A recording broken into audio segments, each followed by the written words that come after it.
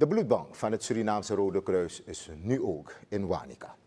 Nadat Suralco haar deuren had gesloten, Ah, ja. besloot het Rode Kruis in mei om haar diensten naar het district te brengen.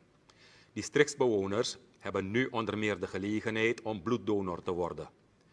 Weinig mensen maken echter nog gebruik van onze diensten, zegt Marlies Oberg, adjunct-coördinator bloedafname van het Surinaamse Rode Kruis.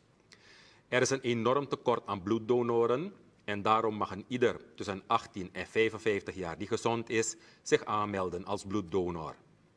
Ondanks de teleurstellende opkomst tot nu toe zal het Rode Kruis toch doorgaan met dit initiatief. We zeggen hoop doet leven. Dus eh, we hopen dat we de, de opkomst kunnen opbouwen. In die zin van ehm, dat we toch wel meer donoren. Want dat is de bedoeling. We komen naar de gemeenschap toe. En eh, dat is uiteindelijk de eh, bedoeling. Dat we toch wel een mooi aantal krijgen. Kunt u vertellen over het proces, het moment dat iemand naar binnen loopt om bloed te geven, wat gebeurt er allemaal? Oké, het moment dat je komt, geef je eerst, je doet eerst de, de persoonlijke gegevens, je geeft je naam op. We hebben zo een lijstje en we kijken, is het altijd? Mannen mogen om de 10 weken eh, bloed doneren en vrouwen om de 17 weken.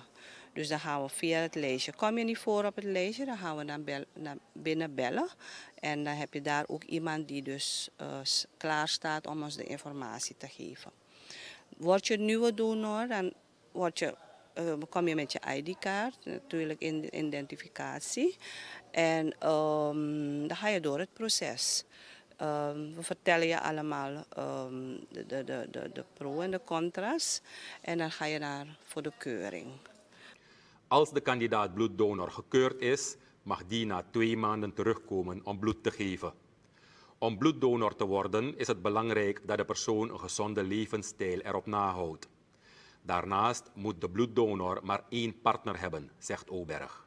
Healthy lifestyle, dat is, is, is, is eh, ge- gewoon gezond leven. Goed eten. Je mag niet te zwaar worden, niet te veel aankomen.